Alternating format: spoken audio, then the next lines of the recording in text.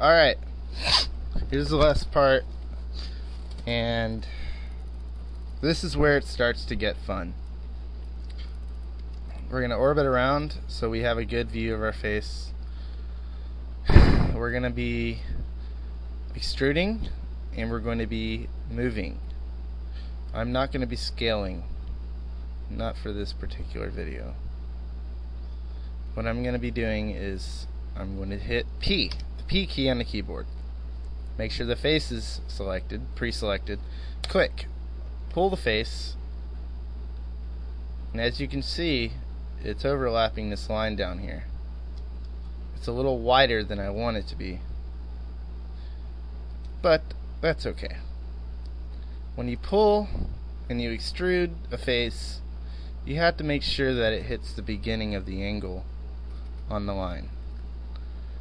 You know, if you're going along a straight line, it's not a problem. So, you're basically going to see you top down, you see how it angles here? Yeah, well that's a problem. So we're actually going to have to position our face again. I'll hit my M key, make sure that's selected, this edge, and I'm going to click, and then I'm going to click, the, I'm going to hit the right arrow key on my keyboard, which will select my red axis. Now, I'm going to move my mouse cursor, the position tool, to that line. And click. Looks kind of funky. If it looks funky and it has an abnormal angle to it, that's fine. We just really want to line it all up. That's all we really want to do. So select this curve, hit the right arrow key on your keyboard to move it on the red axis, and make sure it's on that line. There should be an intersection between this line. As you can see, there is not. This means that we have to position it again. Select this. Actually, you know what I'm going to do? I'm going to hit the M key, and I'm going to hit this endpoint here. Don't select this, and do not select that. Make sure no line is selected. We're simply selecting an endpoint. Click, right arrow key, zoom in. We don't want any overlap on this line. This is this may be difficult to do. Mm, get it good. This is really important. See? Right here, we want our intersection. It's giving me shit. It's giving me problems. Um, SketchUp is naturally that way. It likes to snap to everything, but this time it doesn't want to snap to anything. What do we do? I cannot stress this enough. These must be lined up.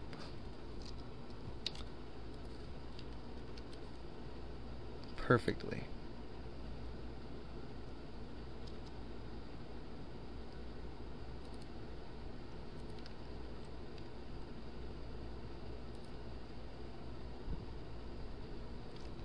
Well, that was a fucking pain in the ass.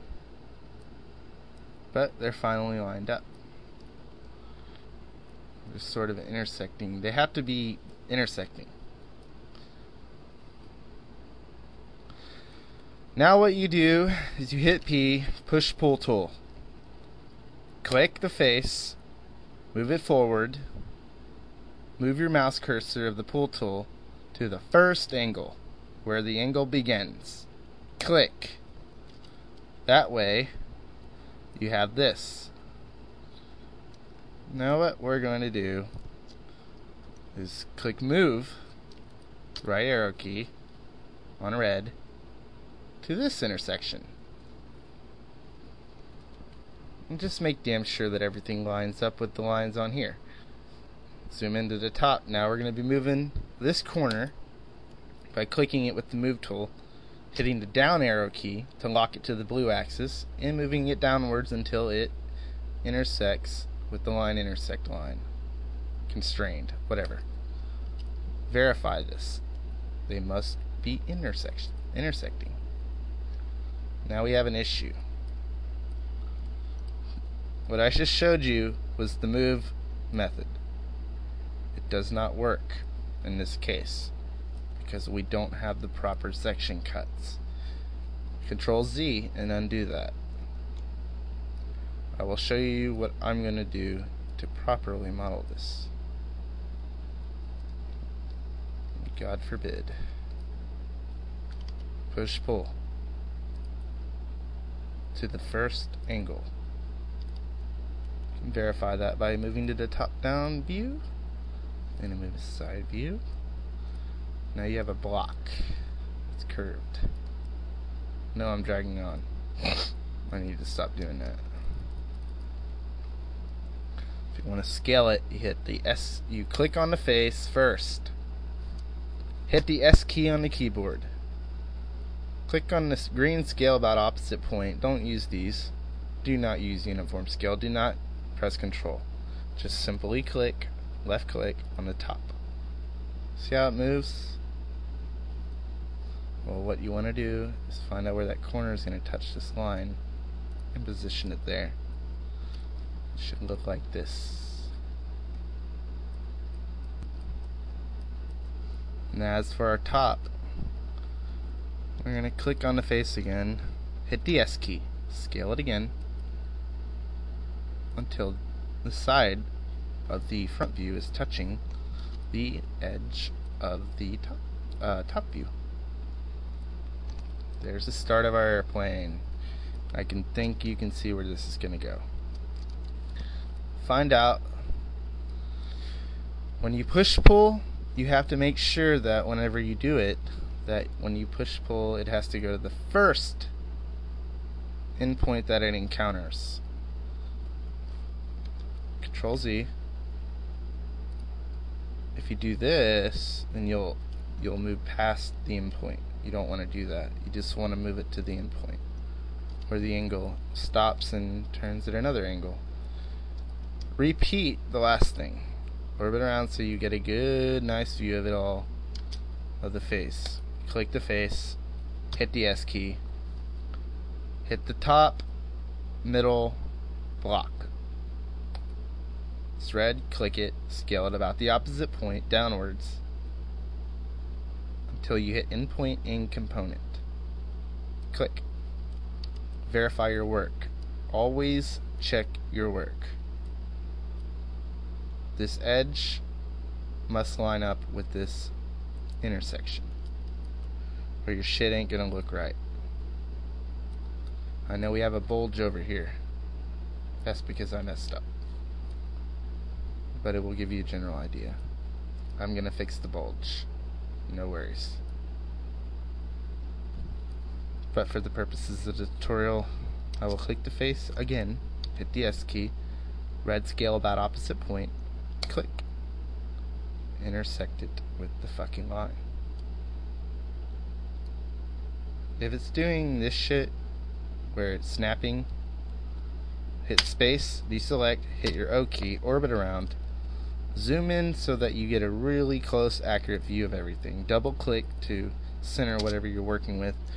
DS key again, zoom out a little bit, click that, and it will help you a lot. If it's not working for you, just hit it again. and it will eventually come to its senses. SketchUp is not the most user-friendly program in the world. It is actually quite stupid.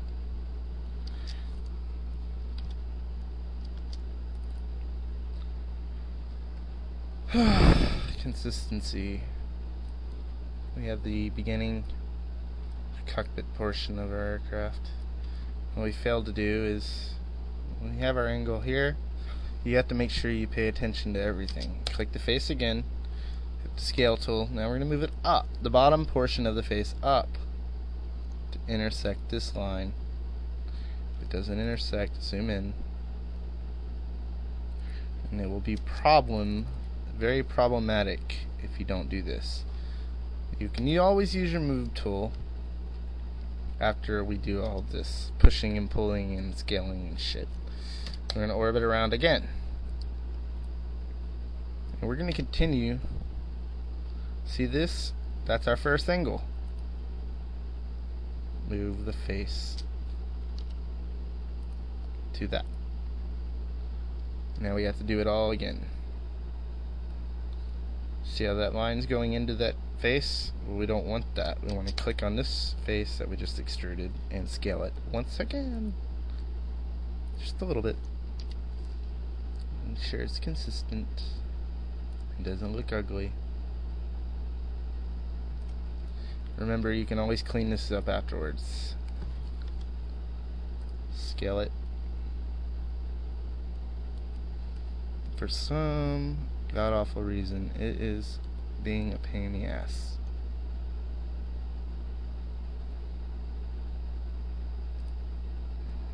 Well, I'll rectify that issue later. And then now, the bottom. And as you can see, this looks like shit.